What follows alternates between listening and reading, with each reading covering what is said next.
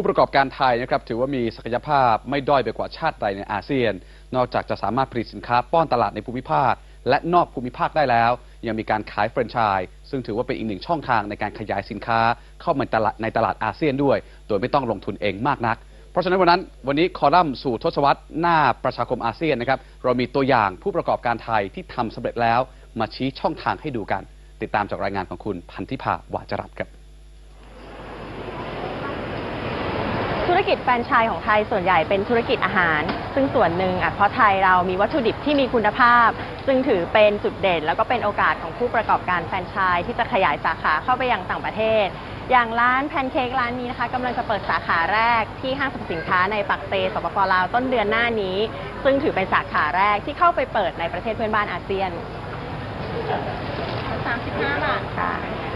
จากจุดเริ่มต้น 18 ปีที่แล้ว ร้าน NNB คิดค้นสูตรทำแป้งขนมเครปบางกรอบหอมหวาน จนมาวันนี้พัฒนาสูตรเป็นพิซซ่าเครปที่ไม่เหมือนใคร สินค้าขายดีอีกอย่างคือแพนเค้กไส้ต่างๆทำใหม่ๆใส่กล่อง หยิบง่ายขายคล่อง ปัจจุบันเจ้าของร้านขยายสาขาไปทั่วไทยกว่าร้อยแห่ง พร้อมก้าวเข้าสู่ตลาดเพื่อนบ้านอาเซียน ด้วยระบบแฟรนไชส์ที่แข็งแกร่ง ข้อดีของแฟรนไชส์เนี่ยดีมากๆก็คือการขยายตัวได้อย่างรวดเร็ว โดยใช้ทุนคนอื่นนะครับหมายความว่าการที่ NNB จะไปที่ประเทศลาวประเทศแรกอย่างเงี้ย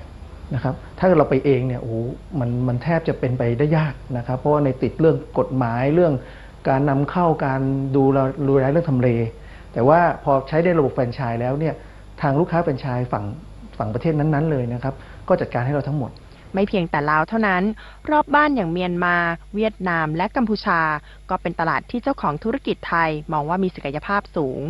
เราเน้นในส่วนของอาเซียนเนี่ยเพราะว่าหนึ่งแน่นอนละภาครัฐส่งเสริมนะครับ แล้วก็การบ้านใกล้เรือนเคียงเนี่ยเราสามารถที่จะอ่านำทีมงานเราไปเนี่ยค่าใช้จ่ายก็ไม่เยอะมากนักนะครับ แล้วก็พฤติกรรมของผู้บริโภคเนี่ยจะคุ้นเคยกับสินค้า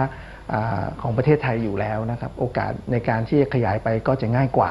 กว่าจะก้าวมาถึงขั้นนี้ เจ้าของธุรกิจต้องผ่านการอบรมบ่มเพาะธุรกิจแฟรนไชส์เกือบ 200 ชั่วโมง กับกรมพัฒนาธุรกิจการค้า เมื่อผ่านมาตรฐานการบริหารจัดการระดับสากล จึงก้าวไปบุกตลาดอาเซียน การเปิดตลาดแฟรนไชส์ในอาเซียนต้องอาศัยนักลงทุนท้องถิ่น หน่วยงานของรัฐอย่างกรมพัฒนาธุรกิจการค้าช่วยได้ ทั้งการพาไปจับคู่เจรจาธุรกิจ รวมทั้งออกงานแสดงสินค้าแฟรนไชส์ในต่างประเทศ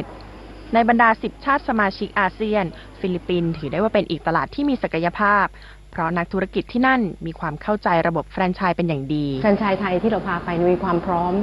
ค่อนข้างมากเลย แล้วหลายรายที่ไปครั้งนี้มีโอกาสไปทดสอบตลาดในต่างประเทศแล้วเขามีศักยภาพที่ขยายได้ได้มากกว่านี้ นี่คือจุดเด่นคือมีความพร้อมนะคะ แล้วจุดเด่นประการที่สองคือสิ่งที่เรานำไปเนี่ยเราเราเราตรวจสอบตลาดปลายทาง แล้วว่าเขาต้องการสินค้าเราด้วยบริการเราด้วยมันของสองข้อเนี่ยมันน่าจะทำให้โอกาสที่มันก็เรียกว่าดีลเกิดขึ้น มีการซื้อขายเกิดขึ้นได้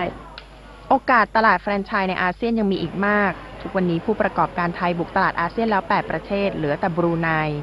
การจะขยายตลาดแฟรนไชส์ในอาเซียนได้ นอกจากผลิตภัณฑ์ต้องมีความโดดเด่นตรงใจผู้บริโภคแล้ว การได้คู่ธุรกิจในท้องถิ่นที่มีคุณภาพ เป็นอีกเรื่องที่สำคัญมาก เพราะจะบ่งชี้ความสำเร็จของธุรกิจในอนาคต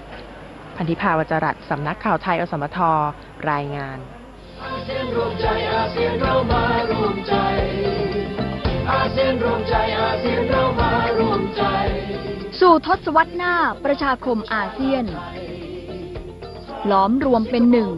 สิบชาติสมาชิก เชื่อมโยง มีส่วนร่วม ประชาชนเป็นศูนย์กลาง